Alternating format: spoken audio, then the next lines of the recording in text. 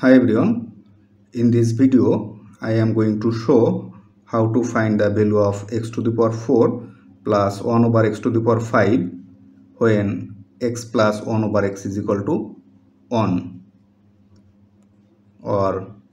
if we multiply both side by x we can write x times x is equal to x square plus 1 over x times x is equal to 1 is equal to 1 times x is equal to x. Or if we take this x to left, left side we can write x square minus x plus 1 is equal to 0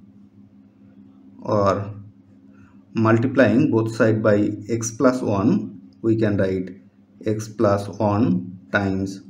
x square minus x plus 1 is equal to 0 or x plus 1 times x square minus x can be written as x times 1 plus 1 is equal to 1 square is equal to 0 this is as like as a formula a plus b times a square minus ab plus b square is equal to a cube plus b cube. So according to this formula it can be written as x cube plus 1 cube is equal to 0 or x cube plus 1 cube is equal to 1 is equal to 0 or taking this on to right side we will have x cube is equal to negative 1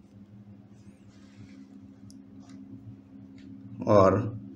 if we cube both side we can write x cube whole cube is equal to negative 1 cube. Or x to the power 3 times 3 is equal to 9 is equal to negative 1 cube is equal to negative 1 or if we divided both side by x to the power 5 we can write x to the power 9 over x to the power 5 is equal to negative 1 over x to the power 5 so x to the power 9 minus 5 is equal to 4 and taking this negative 1 over x to the power 5 to left side we can write plus 1 over x to the power 5 is equal to 0 so this is the value of x to the power 4 plus 1 over x to the power 5